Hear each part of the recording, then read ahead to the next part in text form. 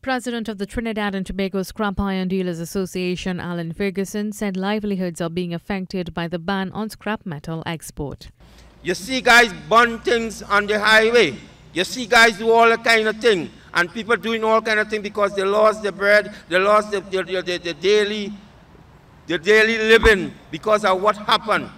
And you know what, what we does? Here what we do. We just want to blame them. You know, we does not say to the government, let us look at what y'all did.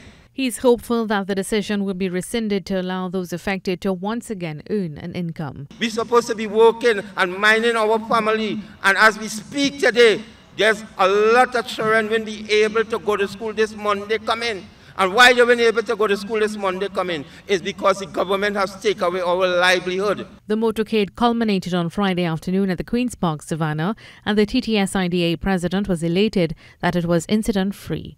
But he has a question for the government. Who is the company in InvestTT that you all want to give to this, uh, this in scrap industry?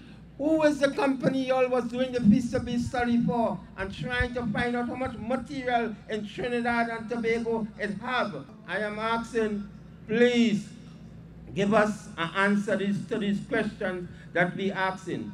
The association was joined by the Movement for Social Justice and the Oilfields Workers Trade Union. TTT News reached out to President of InvestTT, Sekou Allen, seeking a response to the comments made by President of the Scrap Iron Dealers Association. He said he knows nothing about plans by government to hand over control of the scrap iron industry to a company connected to his organization. Mahalia Joseph Wharton, TTT News.